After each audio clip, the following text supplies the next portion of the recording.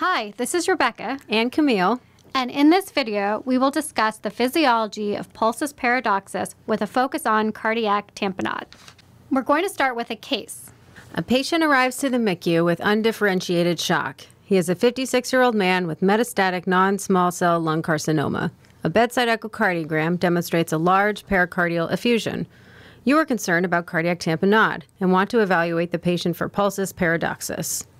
By the end of this video, you will be able to define pulsus paradoxus, describe the physiology underlying the normal inspiratory decrease in systolic blood pressure, apply those principles in the setting of pulsus paradoxus in cardiac tamponade, and understand how to measure a pulsus paradoxus.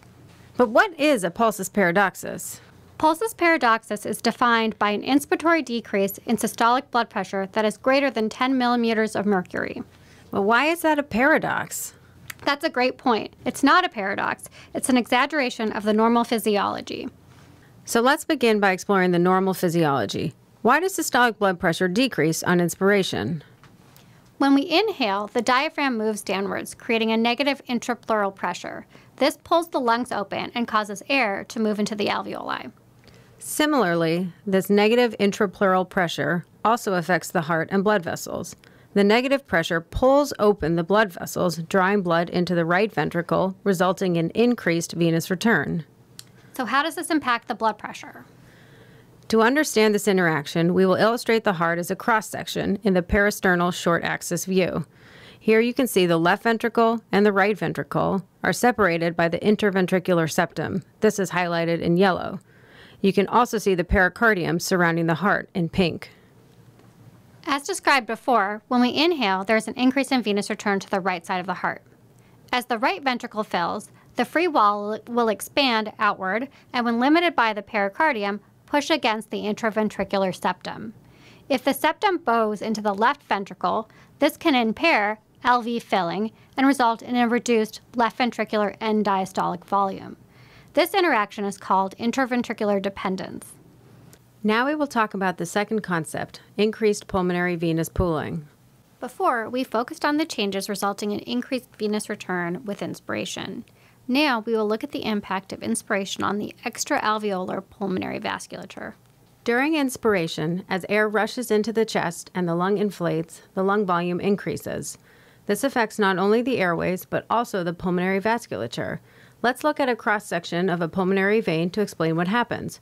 Remember that the pulmonary veins are tethered to the lung parenchyma. So, during inspiration, as the parenchyma expands, the pulmonary vessels are pulled open and get bigger. As the radius of the pulmonary vessels increases, so does the capacitance. This results in venous pooling in the pulmonary veins. This is related to Ohm's law, V equals IR, where R is resistance.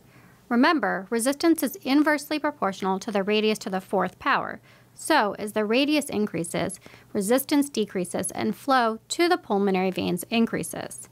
So, during inspiration, the pulmonary veins act like a reservoir.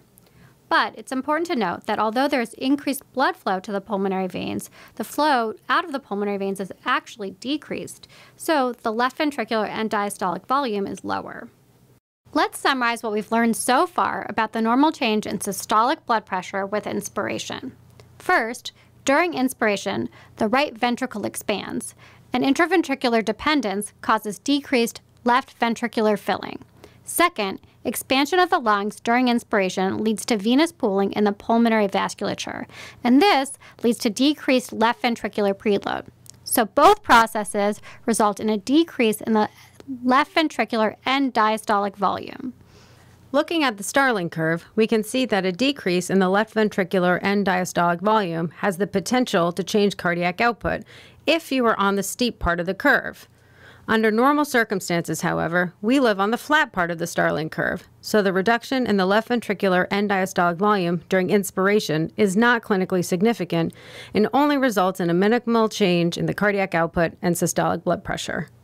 However, when a pericardial effusion is present, this physiology is exaggerated and can result in a pulsus paradoxus. Let's explore this physiology in the presence of a pericardial effusion. First, we will return to the concept of interventricular dependence. As a reminder, this is a cross sectional view of the heart, similar to the parasternal short axis view.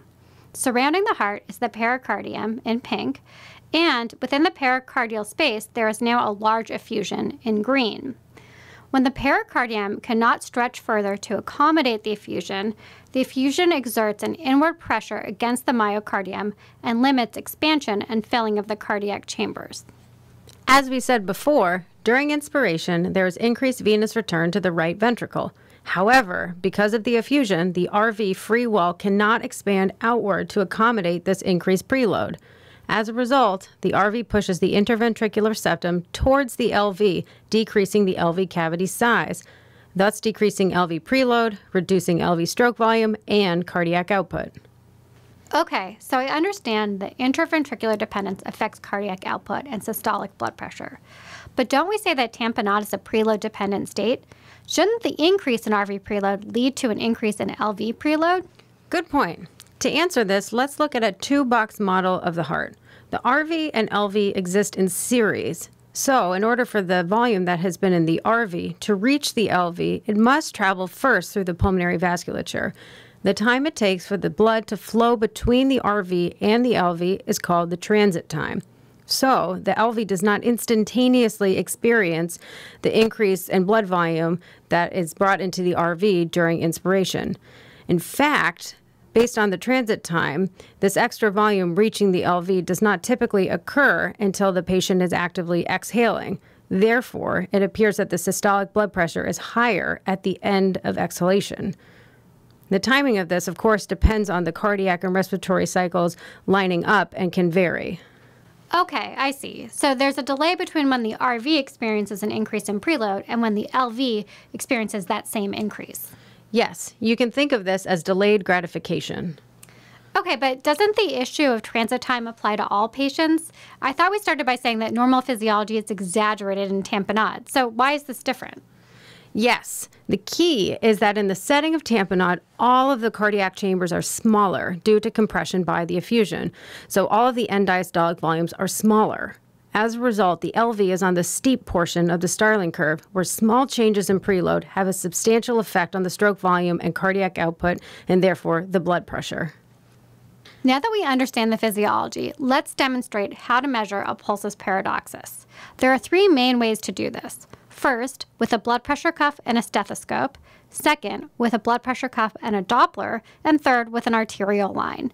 For this demonstration, we'll use a blood pressure cuff and a Doppler. Let's go get our supplies. Place the blood pressure cuff along the medial surface of the upper arm.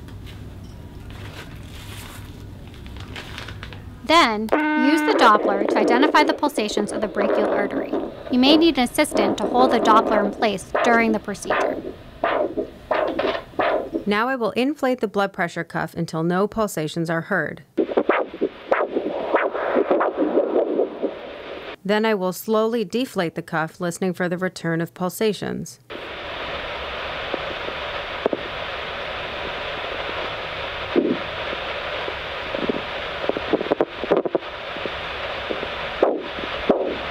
To determine if the pulsations are dependent on the phase of the respiratory cycle, I will ask our participant to inhale.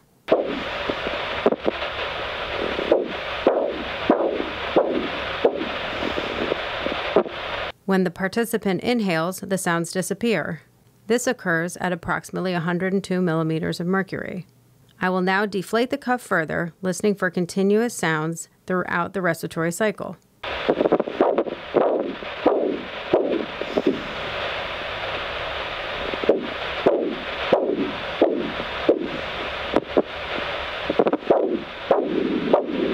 You can hear this at a pressure of 96 millimeters of mercury.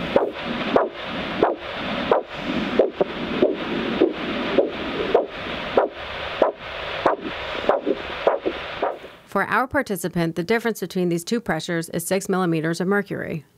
When the difference is greater than 10 millimeters of mercury, this is considered abnormal and called a pulsus paradoxus. A pulsus measured greater than 10 millimeters of mercury has excellent test characteristics for the diagnosis of cardiac tamponade and the setting of a pericardial effusion, with a sensitivity of 98%, a specificity of 70%, and a positive likelihood ratio of 3.3. We've covered a lot in this video, so let's review the key points.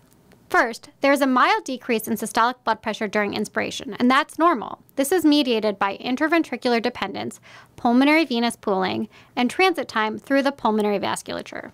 In cardiac tamponade, restricted ventricular filling exaggerates the normal physiology, resulting in a greater difference between inspiratory and expiratory systolic blood pressures. Measuring a pulsus paradoxus is a useful clinical scale that may be helpful in diagnosing cardiac tamponade. Rebecca, I just measured the pulsus on our patient and it's 15. I'm going to go call cardiology. Better go. Thanks for watching our video.